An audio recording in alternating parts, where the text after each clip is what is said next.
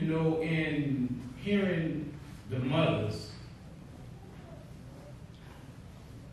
hearing the cries from the mothers, it should have been so silent. I know that's right. Because if you haven't lost a child, Come on now. and if you don't think you're going to lose a child, because Allah said that He will try you with your children and with your wealth and with your very life. Come on now. This is not something to play with. If you think you're little straight A student, you're little honor roll student, it's not going to meet little June bug on the block that you done moved away from. Mm-hmm. They're going to run across them one day. And it's either get down or lay down. Now, when the police kill one of us, they don't ask our religion. I'm pretty sure they didn't ask your son their religion. When they saw his body, lifeless body laying on side of the road. In 1989, at the age of 16, I myself was subjected to the correctional prison or institution.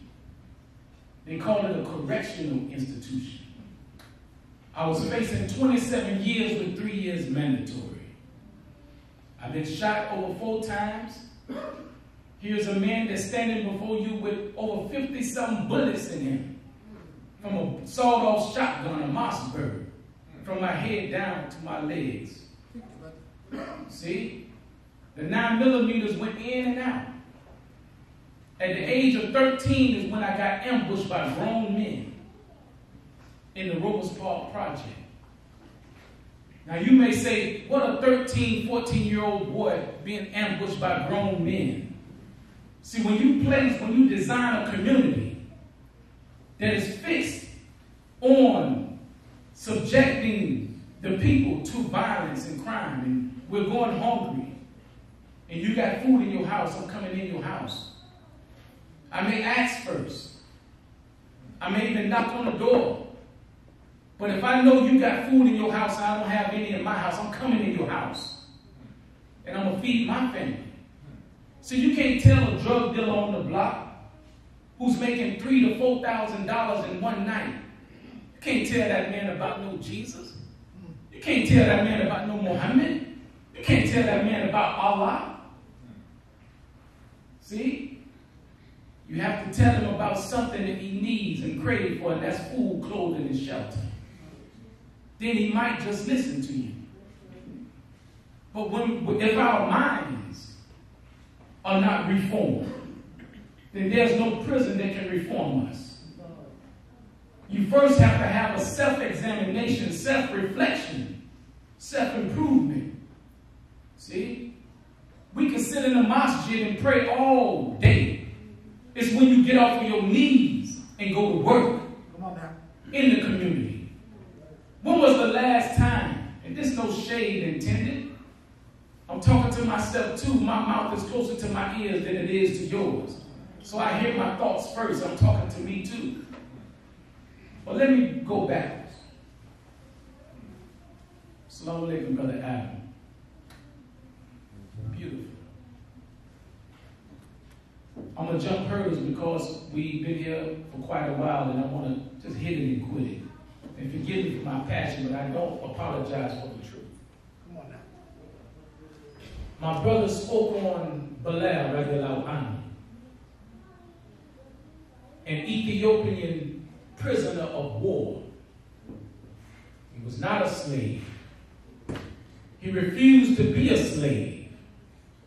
See, a slave being in battle. A slave is one who give up his manhood Think about that. In order to be pumped by the taskmaster. Think about that.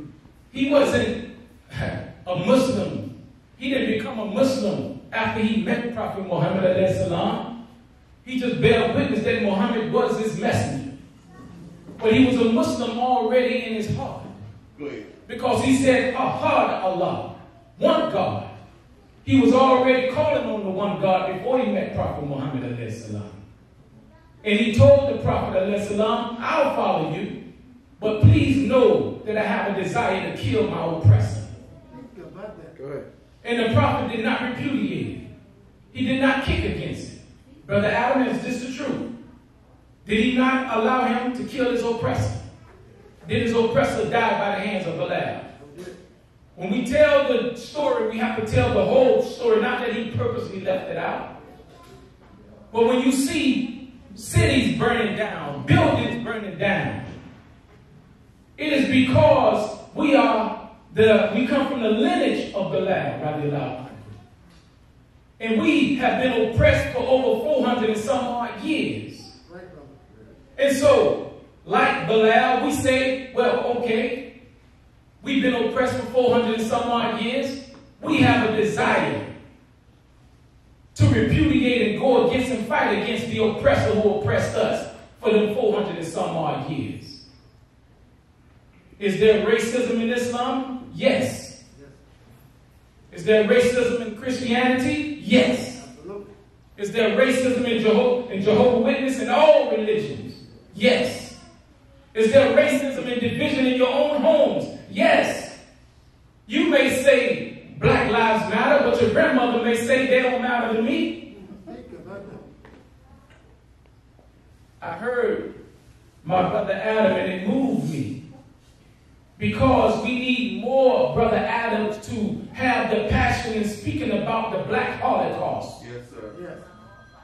Because if you can force your oppression on me, and you can tell me about the Israelites, how they was oppressed in the time of Moses. If you can tell me about the Thamud people, how they hamstrung a camel after God, Allah, told them to leave her and let her have her drink. But they hamstrung the camel. If you want me to cry my eyeballs out over a camel from, from being pre- prevented from having a drink, then why can't I cry my eyeballs out over the black woman and the black man and the black child that's been placed in a wretched condition, No, that's right.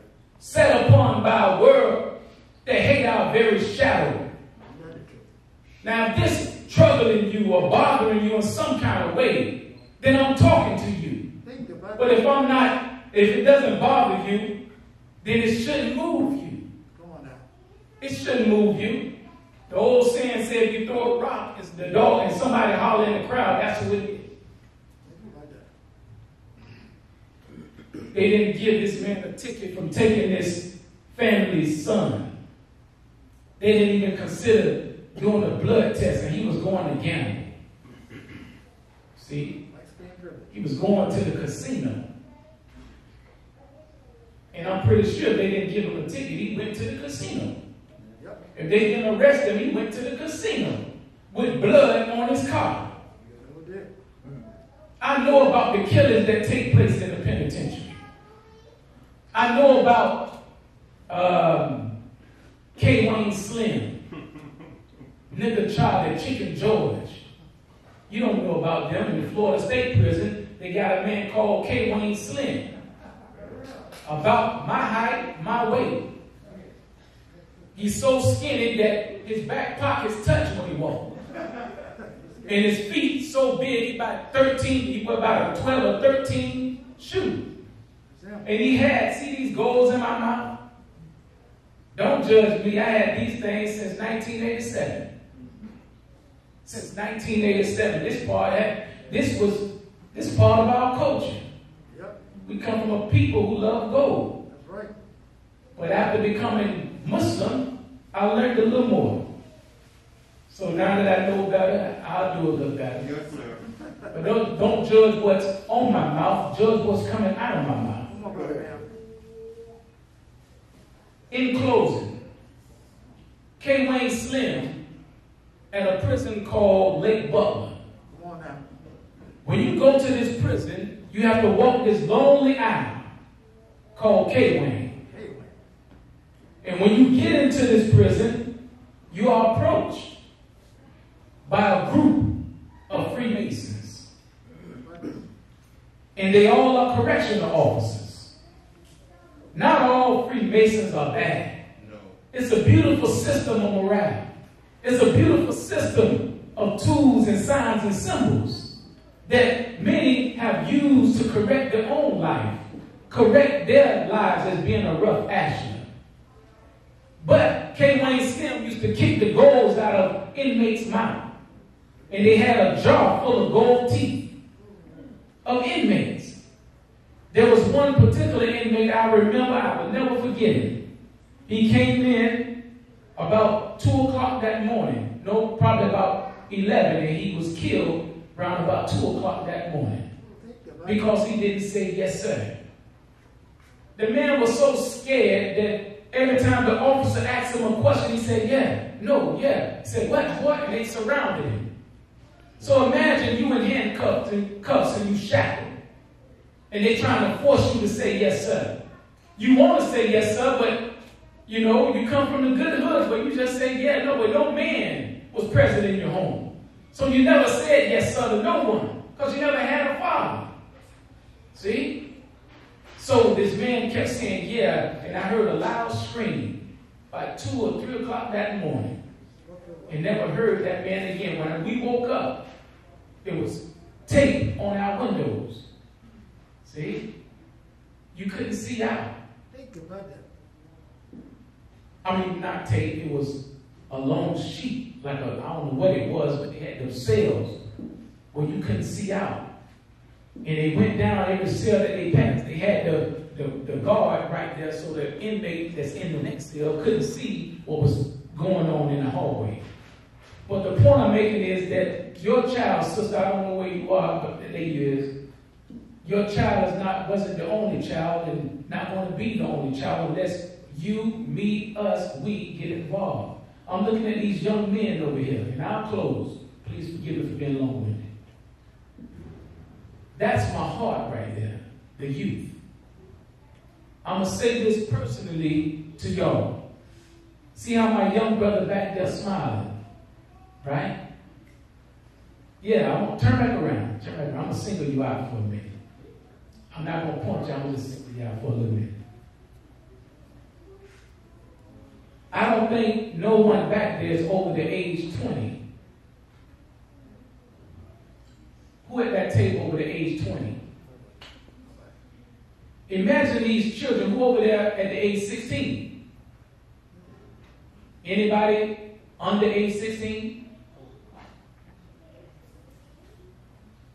Where's Brother Jalil?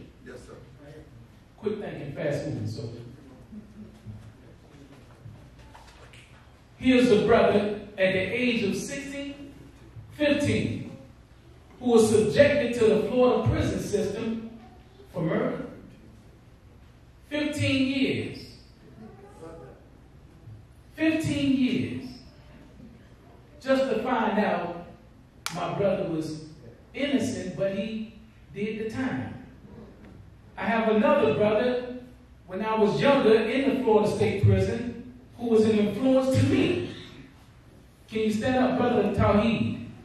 Go ahead. Whole player. He was my OG.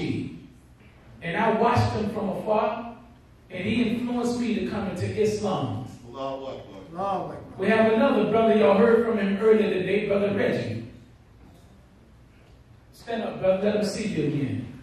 Reggie. Another brother that I watched from afar. Don't be ashamed of being, uh, of being uh, subjected to the prison system. You, know, you was in prison when you was born, Right. right here in America. Right. But it didn't make us bitter, it's making us better. So Allah say, don't let the bitter, the, the hatred of others turn you bitter. Turn it around. It's in the book.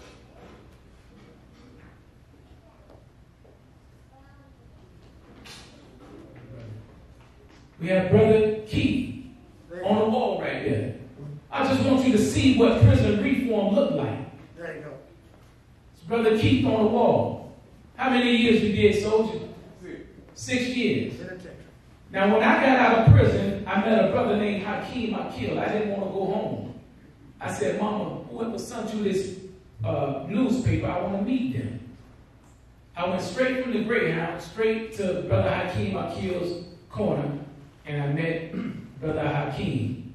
And he took me on his wing. I'm to show you how, what it's going to take for us to assist in the reformation of an inmate that's coming out that want to do right. I haven't had a charge, I haven't been convicted of any crime or charge since 1989. Here it is, these young brothers, young men, our future. If I ask them right now to raise their hand, do you know about Emmett Till? Have you ever heard of an Emmett Till? Stand up, young blood. Okay. Thank you, brother. Emmett Till was 13, 14 years old. And he was killed because they said he whistled at a white. Even if he whistled at a white woman, listen what happened to him. They put a shotgun in his mouth, They sure did. blew the back of his head out, Mississippi. took his private parts and shoved it in his mouth, What they did. cut his ears off, slit his throat, mutilated. I mean, they did something bad, gorged his eyes out. He was unrecognizable. And then they asked his mother, say, I don't think we should have a closed, I mean, open casket. She said, no, I want the world to see what y'all did to my baby. What she said. See? So when we talk about events that occurred, uh, Brother uh, Adam, in all due respect, when we talk about events in the Bible, in the Quran, or any other historic facts, these are recent facts. Just a few years ago, that was in 1955. Some of you probably was born in 1955 or earlier than that. But the, um, I talked about the tragedy. I want to tie this up with the love that comes out of that. How can love come out of that? Out of tragedy. Allah said, verily through every difficulty there's ease. That's right. The ease is in the difficulty. Right. When I got out of prison, young blood, thank y'all. Brother Aslam, my brother right here. Stand up, Brother Aslam. That's mine. Brother Aslam, let's give our brother a round of applause. It was Brother Aslam who took me under his wing. It was Brother Aslam who took me out to do dawah. It was Brother Aslam who came and prayed over my children when they was born. It was Brother Aslam who prayed for me. I love him. Got a rose while you're alive, this is my rose to you. You, my brother, I love you. You always been a spiritual guide for me. Thank you. So, in closing, brothers and sisters, forgive me again for being long-winded. Winded. Our brother that's sitting, sitting, seated before me, I want to embrace them because what he have done and is doing and what Allah is going to do further through him Right. by the permission of Almighty God Allah. I think we're going to shock the city of Tampa. Right. And young brothers, just know that your life is not just built on sport and play. Reform your mind. Reshape your mind. Get your head up out of the phones all day. Because we bow our heads to the phones more than we bow to Allah. Come on. About that. See? There's a there's a type of music that's going around that's affecting the black community called drill music. Yes, sir. If you know what drilling is, drilling is when a man drilling in the military. Some of these brothers that you see with us, these brothers come out of the hood. And now they're coming out of the real hood that's covering their eyes. And they're coming into the light of themselves. We don't want to be sitting in your bushes changing shifts. We don't want to be waiting for you to come out of the store and snatching your purse. We don't want to be violating your daughters, violating your sons, and violating you. We don't want to do that. That's because somebody got to us and disturbed our wicked timeline. Come on now. So now we got to go out there and disturb somebody else's wicked Yes, sir. and bring the truth so that it can knock the brains out of falsehood. ahead. So oh, I want Oh, let's go. Yes, to embrace my brother. sir. Lord, I will, Mark, get that love. Come on up, man. I don't know, I'm out. Get that love. Got my mask. I turned this It's okay. Well, I'll tell you something. What a beautiful day. What a picture, man. Take a picture of